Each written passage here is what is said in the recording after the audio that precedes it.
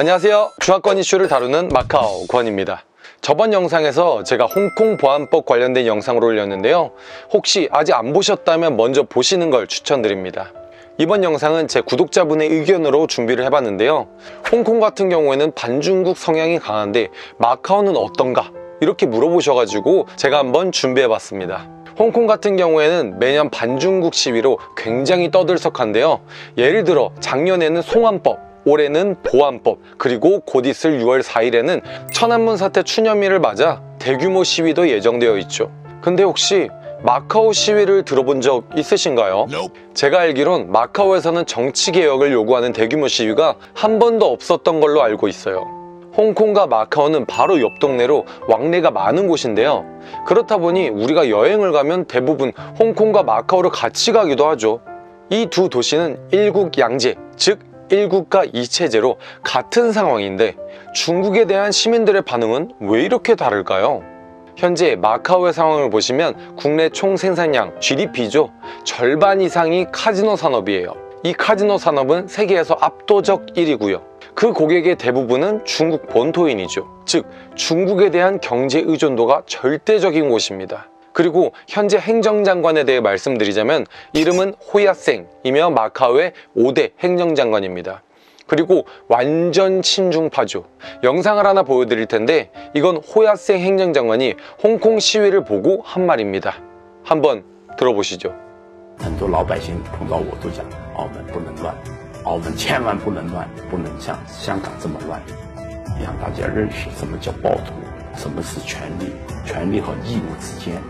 怎么去落实好这个平衡的关系。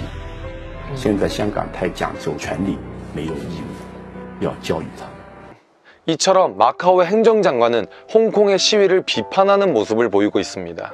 그리고 마카오 같은 경우는 주요 대학, 언론, 병원, 은행이 정부의 소유 혹은 관리하에 있으며 교사, 의사, 공무원, 기자 등 정부에게 비판의 목소리를 내야 할 사람들은 정부의 피고용인이라는 겁니다.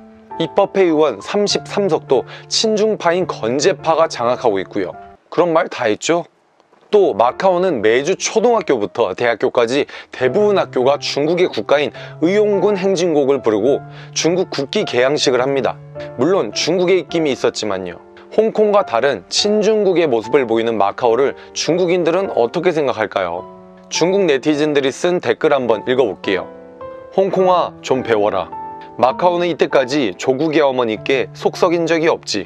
홍콩아 배워라. 같은 친아들인데 홍콩이란 불효자는 정리가 안 된다. 마카오가 저렇게 좋은데 도대체 언제 정상적으로 통관할 수 있는 거지? 중국인도 마카오에 넘어갈 때 통행증이 필요하고 이미그레이션을 넘어가야 하는 번거로움이 있기 때문에 이런 말을 하는 것 같네요. 홍콩의 정책을 마카오로 옮기자. 보시다시피 마카오를 칭찬하며 홍콩과 비교하는 글뿐이에요. 중국은 항상 말하죠. 일국 양제의 성공적인 예는 마카오라고요. 그만큼 마카오 정부는 친중국적인 모습을 많이 보이고 있습니다. 제가 마카오에 살면서 들었던 생각은 여기 사람들은 정치 쪽에 관심이 별로 없거나 엄청 민감해하는 것 같았어요. 제가 뭐 중국이나 홍콩 쪽 얘기만 살짝 해도 아, 난 모른다. 그 얘기는 꺼내지 말라고 하는 등 불편해하더라고요. 하지만 젊은 친구들 중에선 홍콩에서 발생된 각종 사태에 마음속으로 응원하는 친구들도 봤어요. 겉으로 표현은 못하겠다고 하지만요. 이처럼 홍콩 시민은 중국 쪽 불만에 저항을 하는 스타일이라면 마카오 시민은 참고 견디는 스타일인 것 같아요. 물론 홍콩과 마카오는 각각 영국과 포르투갈의 지배를 받다 보니 식민지에 대한 인식도 좀 다른 편이죠. 홍콩과 마카오 거리는 가깝지만 정치 성향은 먼 두 곳에 대해 얘기를 해봤는데요. 마카오도 나름 여러 가지 고충이 많은 곳이기도 합니다. 중국의 힘에 어쩔 수 없이 행해지는 것들도 있고요. 오늘 영상은 여기까지고요. 영상을 잘 보셨다면 구독과 좋아요 부탁드립니다. 감사합니다.